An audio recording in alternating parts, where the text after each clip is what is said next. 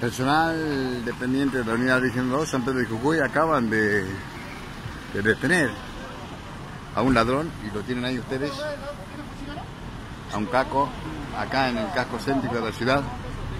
A ver, todos para ver, ¿qué pasó? ¿Qué pasó? ¿Qué pasó? Detención, detención de masculino. Estaba- Tiene pedido en estaba- la comisaría 48. ¿Estaba robando? Tiene pedido en la comisaría 48. Ah, tiene pedido, ahí está, ¿eh? Tiene pedido en la comisaría 48. Este detenido. Ahí está precisamente el personal. Dependiente de la Unidad Regional 2 San Pedro de Cucuy.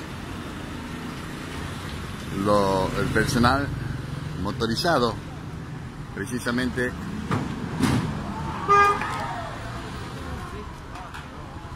se le abrió se, se abrió la compuerta del patrullero, se abrió la compuerta del patrullero, tremendo golpe que se dio.